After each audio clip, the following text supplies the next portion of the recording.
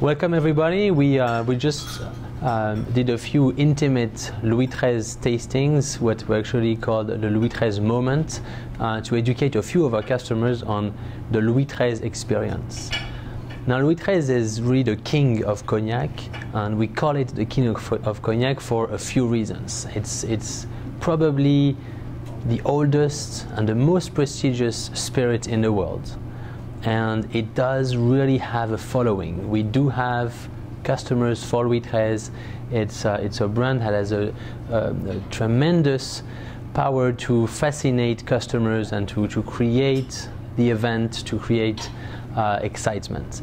Now, Louis XIII is the king of cognac for a few reasons.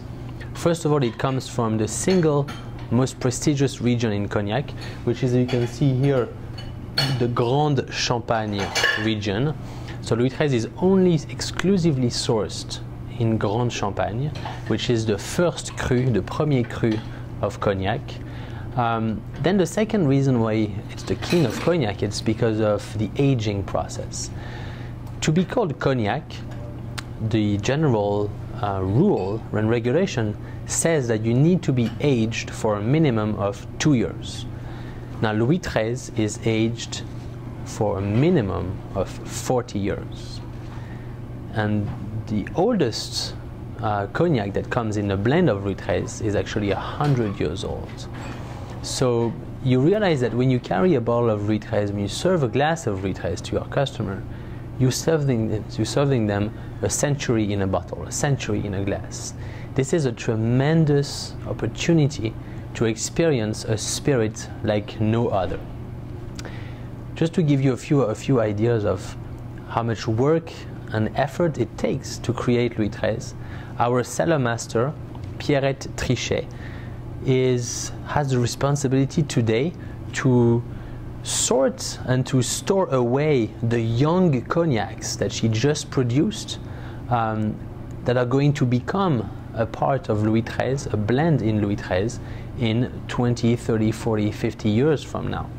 That's a huge responsibility. She has to make that decision today for a Louis XIII bottle that is going to be only produced and enjoyed by our customers in a few decades. And also, she's able today to create the Louis XIII bottles only because four generations ago, a hundred years ago, the cellar master of Rémy Martin put away the best cognac that he made the cognacs with the longest aging potential for her to use in the blend of Louis XIII today. So Louis XIII is really, it's like working on a cathedral. It's such a long process, involves a lot of different people, a lot of effort, and a lot of people actually never see the result of their work. That's why we really like to define Louis XIII as the king of cognac, but also the king of spirits, really, because it's one of the most complex and extraordinary spirits that is ever made in the in the world. So it's uh, you see, I have a lot of passion about this this brand, but I, I, I really like to share it with you. Um, I am looking forward to um, actually visiting your market and coming with you and um, having some fun together with Louis XIII. But in the meantime, keep it in mind, the king of cognac.